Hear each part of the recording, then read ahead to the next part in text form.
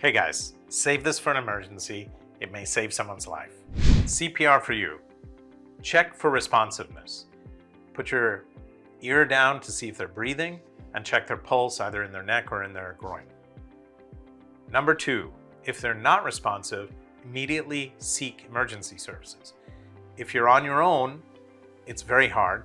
Hopefully you'll have a friend there. And in the US, you would call 911. In India, you'd call 108. Number three, place them on a firm, flat surface so that when you do CPR, it will actually go through.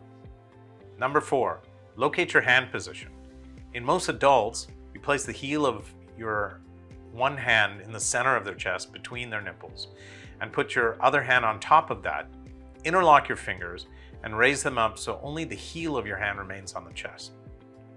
Number five, begin compressions and repeat the cycle until they start to breathe or medical help arrives. If they're breathing, have them quietly lie on their side. Why on their side? Because if they uh, vomit, they won't aspirate.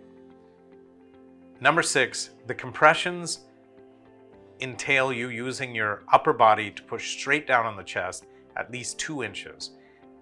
And the rate at which you're doing it is 100 to 120 compressions per minute.